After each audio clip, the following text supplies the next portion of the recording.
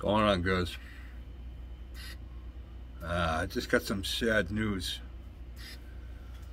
Uh, I guess Chris Cortell passed away.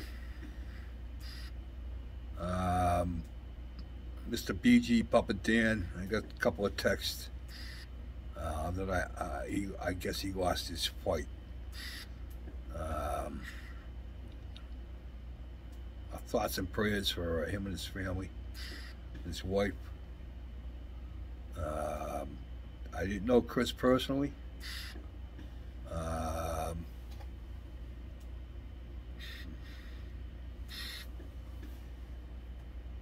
I first got on YouTube in 2016. Chris is one of the first guys I subbed to and was watching, and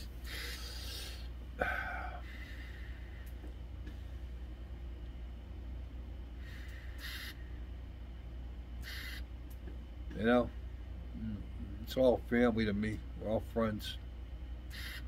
And losing a friend sucks. But the only thing I can look forward to is knowing that he's in a better place.